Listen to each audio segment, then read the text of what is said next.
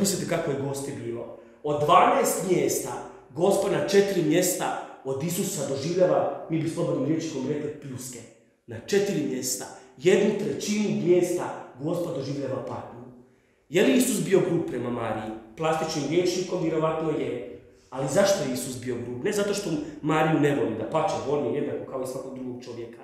Nego zato što je Isus jako dobro razumio jednu elementarnu stvar. Moj život i život mojih roditelja, moje majke i čače, to je po očima Josipa, ne treba biti onakav kakav su oni imali. Ja imam svoje poslanje od nebeskog oca, imam svoj život i svoje dostojanstvo i ja ne moram biti jednaki kao što su oni. I to je, dragi mladi ljudi, i dragi prijatelji, dragi ljudi malo matoriji što jeste tu, jedan ozbiljan problem kod takvog velikog broja ljudi. Nikako da shvate da život mojih roditelja iz kojih, od kojih sam potekao i moj vlastiti život ne trebaju i ne smiju biti jednaki. Svako od nas, iako je rođen od konkretnog muškarca i žene i njihove ljubavi, Bogu zahvalni biti na tome, ali ne biti moj čačin i ne biti moja mater.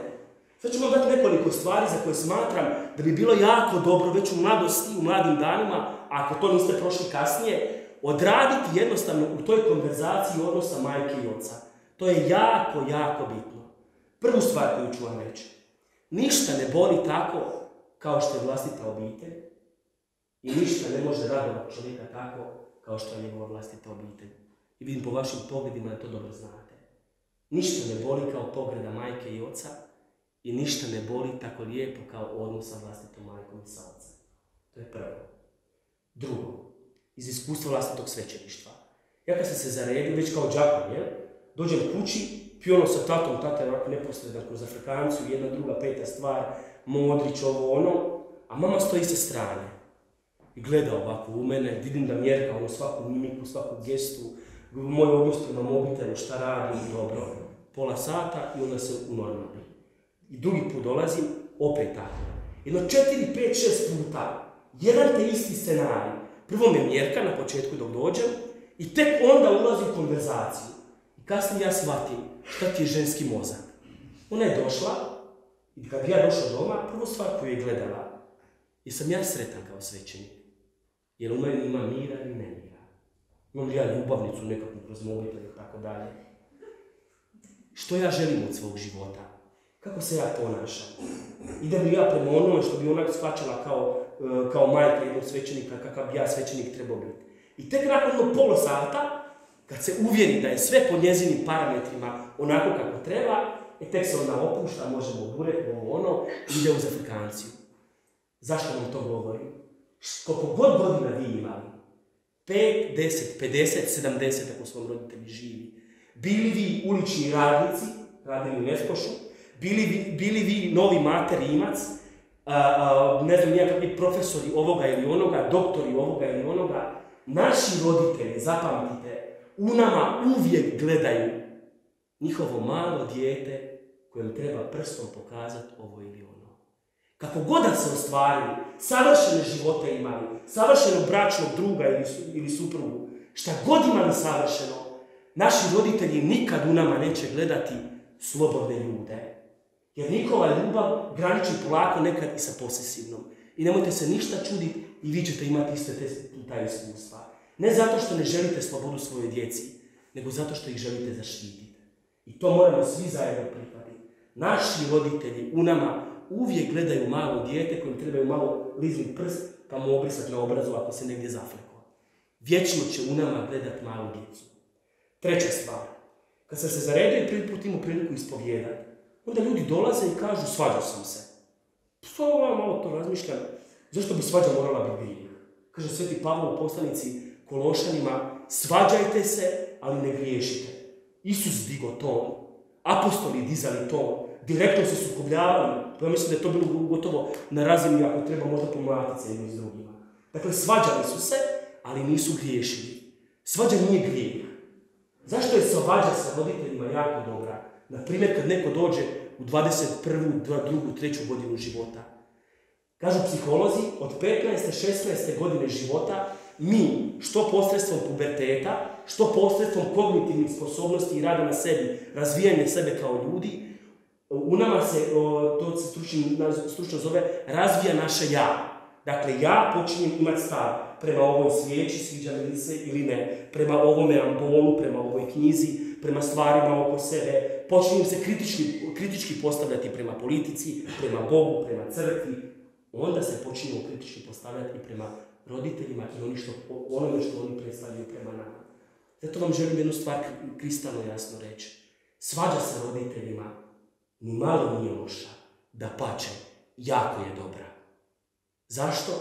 Jer tu pokazujete da se razvijate kao ljudi, da vaše ja počinje biti nešto kvalitetno, da počinjete imati stav prema svijetu koji je oko sebe. I nijedan mlada, nijedan mlada osoba koja se za života nije konfrontirala, onako dobro posvađala s roditeljima, preskočila je jednu jako bitnu fazu vlastitog života. Koliko god nam teško nekad bilo to za prihvatiti. Makar imali savršene roditelje. Tu imate nekoliko bitnih stvari. Prvo je generacijski jaz. To je prva stvar. Vaši roditelji, pogotovo vi koji ste u dobu sve moguće tehnologije, imate roditelje koji su stari 60, 70 ili tih godina. Ne znaju ni šta je Viber, ni šta je Whatsapp, dobro.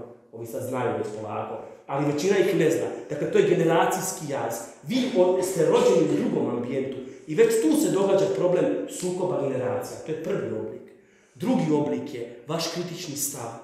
Vi imate pravo reći, ako su ti materi čača cijeli život govorili, ovo je slatko, ovo je slano, ovo je ovako, ovo je onako.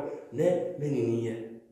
Ako to niste napravili, preskočili ste jako bitnu startu vlastitog života.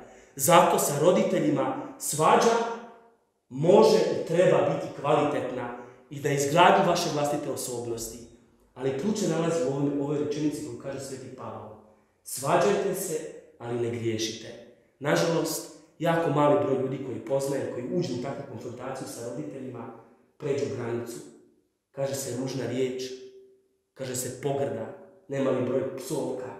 Jednom kad se kaže, to se može oprostiti, mogu se zajedno izgrliti, izljubiti, isplakati, ali u 99% slučajeva ostaje gorak trag u vlastitim ustima i na duši. Jer jednom riječ izgovorena može biti izbrisana, ali jako teško može biti ovaj, zaboravljena.